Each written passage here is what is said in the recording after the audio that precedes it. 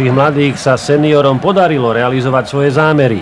Tehelné pole pripomínalo staré dobré časy, len pri hymne súpera nemalo pískať. Ale pomohlo našim držať bojovú morálku po celý zápas.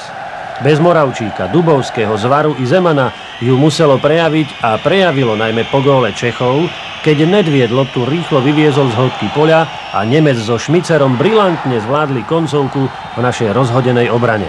Úvod ako zo zlého sna.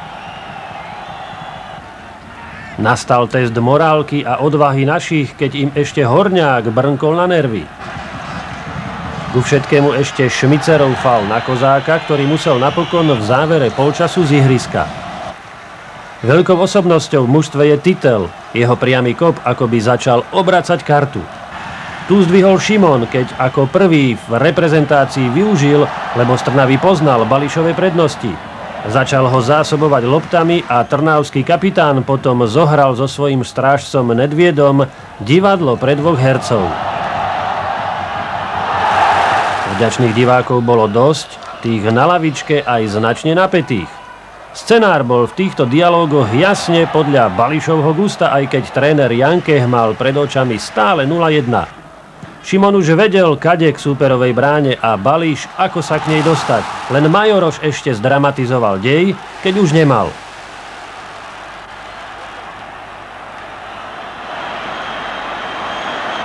Čo dlho nacvičovali, napokon naši zvládli po osi Karhan, Kožlej, Balíš, to iný, a Jančula.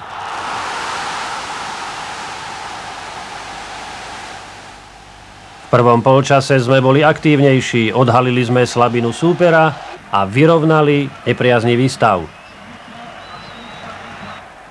Kozlovým faulom na Majoroša a jedenáskou stúpli naše akcie, keď ju Šimon nepremenil, klesli, no iba na chvíľu.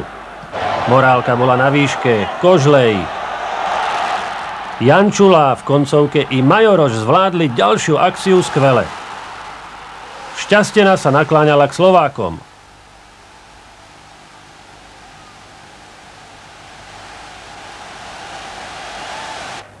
A to ešte Kozel po faule na Kožleja musel von po červenej karte.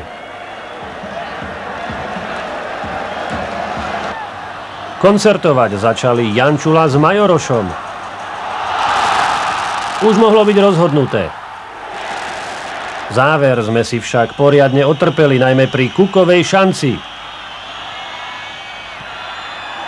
Všetkým zvieralo hrdlo, ale len do záverečného hvizdu. Potom už zaslúžená oslava vydretého stretnutia, ktoré udržiava Slovákov v hre o Francúzsko.